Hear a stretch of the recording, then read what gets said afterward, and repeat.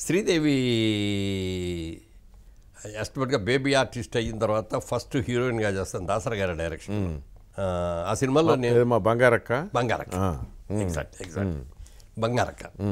బంగారక్క సినిమాలో అమ్మాయి హీరోయిన్ నేను హీరో. ఓకే. అందులో కూడా అమ్మాయి క్యారెక్టర్ ఏంటంటే అమ్మాయికి వయసు వచ్చింది కానీ పిల్ల చేష్టలు బాగాలేదు అనేది ఇది. ఎప్పుడు చూసిన పిల్లలతో maturity levels maturity levels maturity రాలేదు మనిషి మాత్రం ఎదిగింది. ఎదిగింది. క్యారెక్టర్ అది. అందుకే డైరెక్టర్ గారు పెట్టారు. మరి లేకపోతే ఆవిడ చూసి క్యారెక్టర్ ఎలా చేశారో తెలియదు కానీ. అవన్నీ చూసినప్పుడు అంటే అమ్మాయి కూడా చాలా అంటే చిన్నప్పటి నుంచి కూడా తెలుసు కదా మనం అమ్మాయి చేసిన సినిమాలు బోర్డు సినిమాలు చూసాం. నిజంగా చాలా అందంగా ఉండేది. కానీ ఆర్టిస్ట్ ఆర్టిస్ట్ అనే ఉండేది ఇంకా వేరే ఫీలింగ్ ఏమి ఉండేది కాదు. వాళ్ళ అమ్మగారు ఫాలో అవుతా చూస్తూ ఉండేది. అప్పటికేమో నేను రైజులో ఉన్నా బాగా రైజులో అవును. చూసిన తర్వాత మరి ఆవిడకి ఎందుకు నచ్చిందో నాకు తెలియదు ఇది ఇట్లాంటి బుద్ధిమంతుడు నేను ఒక బాగున్నాడు ఇలాంటి అబ్బాయికి మన అమ్మాయి చేసుకుంటే బాగుంటది కదా అనే ఫీలింగ్ ఆవిడకి వచ్చింది మదర్కి. ఈ అమ్మాయికి రాల పాపం. తెలియదు కదా అసలు. తెలిసిన ఏజ్ కాదు అంతా పదహారు పదిహేడు. పదహారు పదిహేడు అప్పుడు. అంతే అదే. అంతే. ఆ.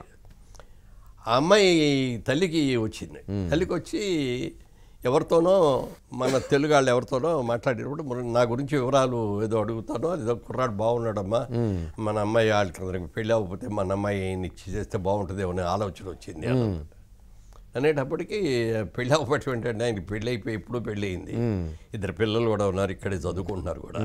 అని చెప్తే నమ్మలా ఆవిడ. ఉమ్. నమ్మకపోతే రండి మీకు చూపిస్తానని చెప్పి మా ఇంటికి తీసుకొచ్చింది. అవునా. మా ఇంటికి తీసుకొచ్చి ఊరినే. ఆవిడ ఇది మా ఇంటికి తెలిసిన ఆవిడను అప్పుడప్పుడు వస్తూ ఉంటుంది. అదే అదే. ఊరినే అలా వచ్చి క్యాజువల్గా వచ్చి వెళ్ళిపోయారు. అప్పుడు కూడా వాళ్ళు ఇందుకోసం వచ్చారనేసి మా ఆవిడకి తెలియదు నేను లేదనుకోండి అప్పుడు ఎట్లా షూటింగ్లో ఉన్నాను. తర్వాత కొన్ని రోజులైన తర్వాత కానీ ఆవిడ చెప్పలే. ఆ రోజున వచ్చింది ఇదిగో దీనికోసం వచ్చాను. ఇక దాంతో అది అట్లా క్లోజ్ అయిపోయింది. అదే అక్కడ. అంటే ఆవిడ ఆలోచన అది. ఆవిడ ఆలోచన. ఆ అమ్మాయి ఎప్పుడు కూడా. ఆవిడ చిన్నపిల్ల కదా. చిన్నపిల్ల. చాలా చిన్నపిల్ల. సో ఇట్లాంటివి కొన్ని ఉన్నాయన్నమాట. అప్పుడప్పుడు పేజీలు ఓపెన్ అవుతూ ఉంటాయి. ఫ్లాష్ బ్యాక్స్ ఫ్లాష్ బ్యాక్ కాకపోతే ఎక్కడ ఏ ఫ్లాష్ బ్యాక్లో కూడా మరక అనేది లేదు. అదే మరకలేదు. తప్పటడుగులు పడలా. అస్సలు. మంచిదే గొప్ప విషయం అది. ఎందుకంటే ఇన్ని అట్రాక్షన్స్ లోను వీడియో ఉండి అవును. ఇప్పుడు యాక్ట్ చేసినప్పుడు క్లోజ్గా యాక్ట్ చేయక తప్పదండి. ఎస్. చేయకుండా అట్లా క్లోజ్గా చేయకుండా దూర దూరంగా చేస్తే ఆ రోజులు పోయినాయి. ఇప్పుడు ఇంకా మరీ అనుకోండి అది. ఇప్పుడు సర్లేండి ఇప్పుడు అప్పట్లో బిగినింగ్ డేస్లో రామారావు నాగేశ్వరరావు అంటే మోచేతులు దాటి పైకి పట్టుకునేవారు కదా అట్లా అదే కాదు వాళ్ళు కూడా చేతులు ఇట్ట పెట్టేవాళ్ళు. ఇట్లా చేతులు అడ్డు పెట్టేవారు. చేసి. హీరోయిన్లు కూడా అగ్ చేసుకునేప్పుడు చేతులు ఇట్ట పెట్టేవాళ్ళు. మరి ఇప్పుడంటే సరే ఇక నలపటం పిసకటమే కదా ఇదే కదా గోల. సరే ఇప్పుడు మీకు ఈ రెండు కళ్ళు లాంటి ఒకటి సినిమా రెండు వ్యాపారం. వీటిలో ఏది ఎక్కువ తృప్తి మీకు ఇచ్చింది ఇప్పుడు దాకా అంటే డబ్బు ఇచ్చింది ఏది దేనికది? ఎక్కువ డబ్బు ఇచ్చింది ఏది ఎక్కువ అది. దేనికది? నాకు మొదటి నుంచి కూడా చిన్నప్పటి నుంచి కూడా మంచి బిజినెస్ మ్యాన్ అవ్వాలనేదే కోరిక తప్ప ఓకే. సినిమా యాక్టర్ అవ్వాలనే ఆలోచన కూడా లేదు. అది యాక్సిడెంట్. అది అయ్యారు యాక్సిడెంట్. నేను బిజినెస్ మీద మనసుతో ఉండేటప్పటికి ఏంటంటే చదువు వంట పట్టలేదు. నిజంగా చెప్పాలంటే చదువు వంట పట్టలేదు. చదివేవాడిని చాలా కష్టపడి చదివేవాడిని. కానీ ఎక్కేది. ఎక్కేది కాదు బుర్రకి ఎక్కేది కాదు ఎక్కినా కూడా గుర్తుండేది కాదు. ఇంటర్మీడియట్ చదివారా? ఇంటర్మీడియట్. ఇంటర్మీడియట్లోనే కృష్ణ గారు నేను క్లాస్మేట్స్ కృష్ణ గారు నేను క్రాంతి కుమార్ గారు మన రాజమౌళి వాళ్ళ నాన్న విజేంద్ర ప్రసాద్ గారు గారు. మేమంతా ఒక బ్యాచ్ ఓకే ఓకే.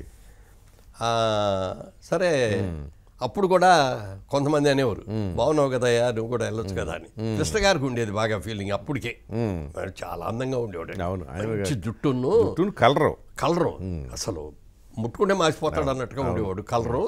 మంచి గిరజాల జుట్టు. నొక్కులు గిక్కులు ఉండేవి బ్రహ్మాండంగా ఉండేవాడు మంచి జుట్టు అప్పుడు. చూసి అందరూ అసలు ఆ మొగాళ్ళే ప్రేమిద్దాం అనే ఫీలింగ్ వచ్చేటప్పుడు కానీ ఎవరితో మాట్లాడేవాడు కాదండి. అప్పుడు కాలేజీలో మేము అందరం కలిసి? సిగ్గుపడే మనిషి. సిగ్గుపడే పైగానేమో తెనాల నుంచి ఏలూరు వచ్చి చదువుకున్నాడు. అవును. అక్కడ ఏదో అనుకున్న గ్రూప్ దొరక్క ఇక్కడ దొరికేటప్పటికి ఇక్కడికి వచ్చారన్నమాట. ఓకే.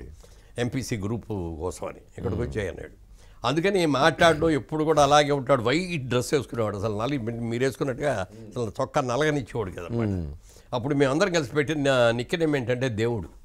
ఓకే. అందరూ దేవుడు. ఒరే దేవుడు వచ్చాడా లేదా? దేవుడు దేవుడు అనే పిలిచేవారు.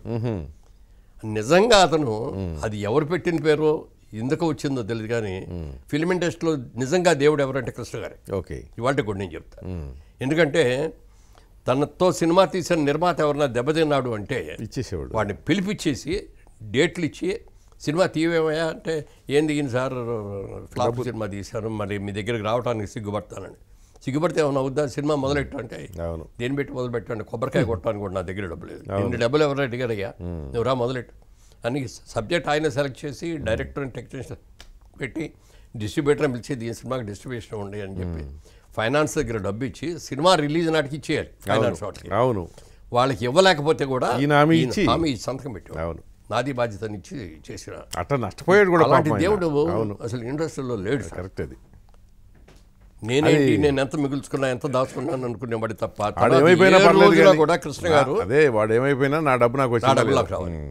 కృష్ణ గారు నాకు తెలిసినంత వరకు ఏ రోజున కూడా డబ్బులు ఇస్తే కానీ షూటింగ్ రావు అనే మాట ఆయన నేను ఆయన్నే ఫాలో అయ్యాను. ఇట్లా నా షోలో కూడా ఆయన చెప్పాడు ఆ- చెక్కులు కట్టలు కట్టలు ఉండే కట్టలు కట్టలు ఉండే. చల్లని చెక్కులు. అది వదిలేసేటికి ఆయన ఎప్పుడు పట్టించుకోలేదు. అందుకని ఎవరైనా ఆఫర్లు ఇచ్చినా కూడా నేను వెళ్ళా. క్రాంతి కుమార్ హనుమాన్ ప్రసాద్ గారు. ఆయన మేమందరం అందరూ అడిగారు. మా రామిరెడ్డి గారు మా చిన్నాన్న గారు అవుతారు ఆయన. మా నాన్నగారు తోడలుడికి బ్రదర్ అనమాట ఆయన. రామి గుత్తా రామిరెడ్డి గారు. ఓకే. వాళ్ళందరూ అడిగారు. అడిగితే కూడా వద్దులేండి వద్దు నాకు అంత ఇంట్రెస్ట్ లేదు అని చెప్పి వెళ్ళా. తర్వాత అనుకోకుండా జరిగింది. తర్వాత బిజినెస్ స్టార్ట్ చేయాలి. బిజినెస్ స్టార్ట్ చేద్దామంటే డబ్బులు లేవు ఉమ్. మేము అప్పుడు మా నాన్నగారు తెలంగాణలో ఆదిలాబాద్ జిల్లాలో ఫారెస్ట్ కాంట్రాక్ట్స్ చేసేవారు. ఫారెస్ట్ ఆక్షన్లో కొని ఆ టెంబర్ కొట్టించేసి టెంబర్ డిపోస్ వాళ్ళకి అమ్ముకోవడం అనమాట హాలిడేస్ రాగానే సెలవులు రాగానే నేను అక్కడికి వెళ్ళిపోయి ఆ ఫారెస్ట్లో ఉండి అవన్నీ వర్క్ చేయటం ఇవన్నీ చేసేవాడిని. ఆ బిజినెస్ మీద ఉన్న ఇంట్రెస్ట్ తోటి. సరే ఇద్దరు ఆయనకేమో పొలిటికల్లో ఇది ఎక్కువ. ఫ్రీడమ్ ఫైటర్ అయిన. అవును. ఆయన ఫ్రీడమ్ ఫైటర్ అవడం మూలంగా కాంగ్రెస్ పార్టీ కాంగ్రెస్ పార్టీ అంటే ప్రాణం. దానికోసం సొంత జేబులో డబ్బులు ఉంటే అంత ఆయన ఖర్చు పెట్టేస్తారు అన్నమాట. అక్కడ అప్పుడు ఆ రోజుల్లో జేవి నరసింహరావు గారు జేవి పద్మరావు గారు వాళ్ళే ఉండేవాళ్ళు. వాళ్ళందరూ ఉండేవారు. వాళ్ళు ఏదో. సరే మాధవ సాబ్ ఇదంతా మీరే చూడాలి ఈయన రెచ్చిపోయి ఖర్చు పెట్టేసేవారు. సరే మొత్తానికి ఇంట్లో ఆడపిల్లలు పెళ్ళి అయినా కానీ లేకపోతే బిజినెస్ ఇది అవటం వల్ల కానీ మేము పెద్దాళ్ళం అయ్యేటప్పటికి బిజినెస్ చేద్దామంటే డబ్బులు లేవు. ఉద్యోగం చేద్దామంటేనే డిగ్రీ లేదు. డిగ్రీ లేదు. ఏం చేయాలని ఆలోచిస్తున్న టైంలో మా చిన్నాన్న గారు ఒక ఆయన అయింది. కిసాన్ ఇంజనీరింగ్ కంపెనీ అని ఏలూరులో పెద్ద షాప్ ఉంది. Okay. Tractors oil engines electric motors ఇవన్నీ వాడతాం. ఆయన ఒక రోజు పిలిచి ఏ బెదవాళ్ళ బ్రాంచ్ పెడదాం అనుకుంటున్నాను రా అది వెళ్ళి చూసుకో అన్నారా? అది నువ్వు చూసుకో. చేస్తావా అన్నాడు. "వర్క్ చేస్తావంటే చేస్తాను. నాకు వేరే గచ్చంతరం కూడా లేదు అప్పుడు. చేస్తానండి అన్న. నెలకు వంద రూపాయలు జీతం. పదిహేను పైసలు లాభాల్లో వాటా ఇస్తాను ఉమ్. తప్పకుండానండి అందులో జాయిన్ అయ్యాను. బ్రహ్మాండంగా పగలు రాత్రి అనుకుంటా కష్టపడ్డాను. ఒక టైంలోకి వచ్చినారు నాలుగేళ్ళు అయింది ఆ తర్వాత పెళ్ళేది అయింది అంత పిల్లలు కూడా స్టార్ట్ అయ్యారు.